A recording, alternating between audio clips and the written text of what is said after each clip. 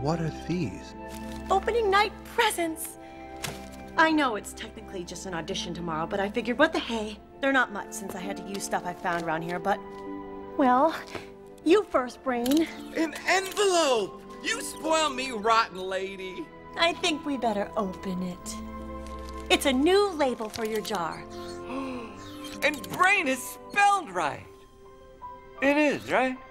You shouldn't really worry about labels, though, because you may be a brain, but you have heart. And in some ways, that's more important. Heart? I'd kill for a pair of feet. Open yours, Scamper. It's a prehistoric evergreen. They live forever. I just want to make sure that if anything ever happens to the three of us, you always have company. Great. I must be allergic to it. With any luck, it'll kill me with its dinosaur-era toxins. okay, we can move on to Igor now. No one's ever given me a gift before. It's something no director can be without. A beret! Voila!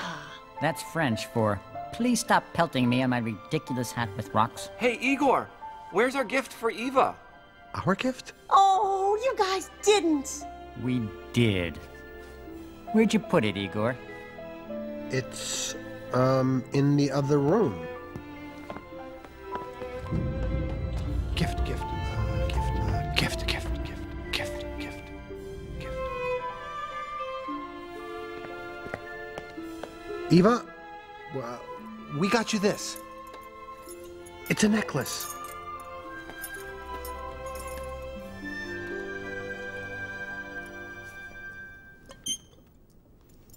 It's the most beautiful thing I've ever seen. Igor, can you? I would do it myself, but I'm all thumbs. Yeah, I'm sorry about that. I, I got the thumbs on sale. I'm never gonna take this off. That way, all of you will be close to my heart forever. I need to go write this down in my sense memory journal. Oh, where did I put my glitter pen? See, this is the kind of moment that'd be tough for someone who wasn't meant to be an evil scientist. Somebody who'd go all soft and want to tell her the truth. But, but lucky for us, I'm evil, right? Yeah. Lucky us. I don't feel lucky.